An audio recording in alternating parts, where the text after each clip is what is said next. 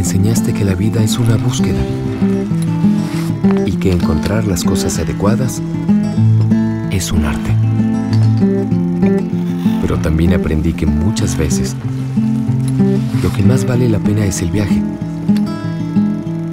no el destino. Una novela de Benito Taibo. Corazonadas, un libro sobre las personas que nos hacen quienes somos.